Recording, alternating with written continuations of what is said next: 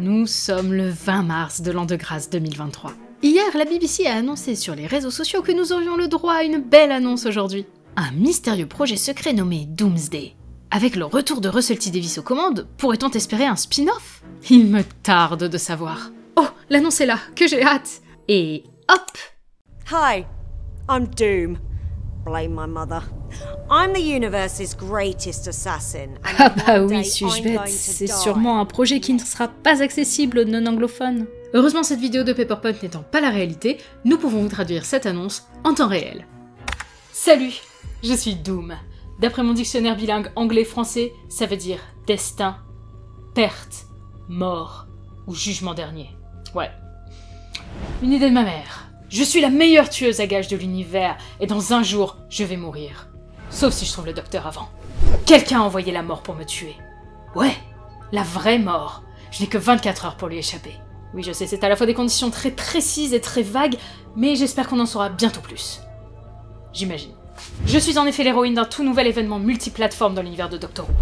Doomsday. Ou comme on dirait dans la langue de Squeezie, le jour du jugement dernier. C'est mon nom.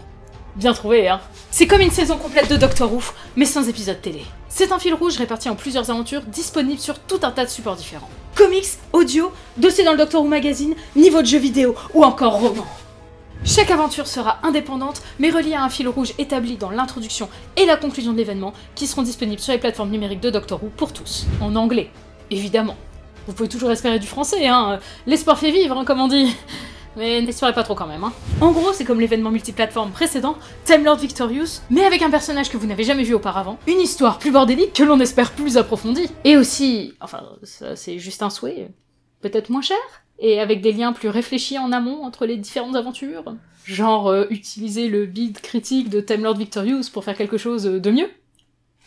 L'horloge tourne. Mon manipulateur de vortex m'envoie une nouvelle cible toutes les heures. L'ordre d'Oberon m'en envoie des caisses, alors je choisis celles les plus susceptibles de me conduire au docteur. Chaque heure correspond à une aventure sur un des supports précédemment listés. Merde.